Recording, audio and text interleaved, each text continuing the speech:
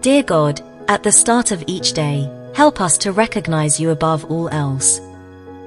Enlighten the eyes of our heart that we might see you, and notice how you're at work through our lives.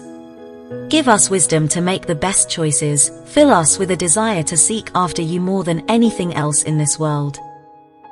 Let your spirit and power breathe in us, through us, again, fresh and new. Thank you that you are greater than anything we may face in our day.